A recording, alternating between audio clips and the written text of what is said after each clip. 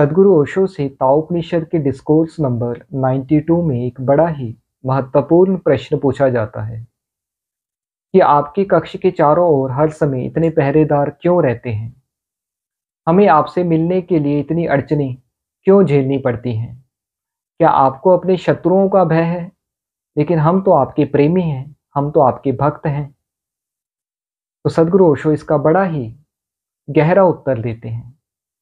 सदगुरु ओशो कहते हैं कि बहुत समय मैं अपने शरीर के बाहर होता हूँ, क्योंकि मैंने हज़ारों लोगों को दीक्षा दी है। मुझे उन पर कार्य करना होता है। उन्हें अनेकों प्रकार से सहायता पहुंचानी होती है।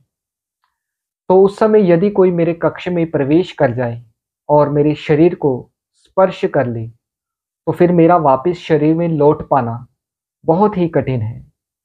इसलिए कक्ष के चारों ओर इतने पहरेदार खड़े किए गए हैं। यह शत्रुओं से बचने के लिए नहीं, बल्कि भक्तों से बचने के लिए खड़े किए गए हैं।